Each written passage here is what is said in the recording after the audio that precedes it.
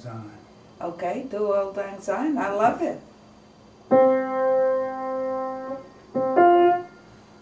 Should old acquaintance be forgot and never brought to mind?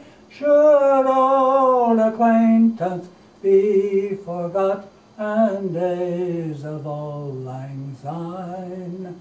For old lang syne, my dear, for all lang syne. We'll drink a cup of kindness yet for all lang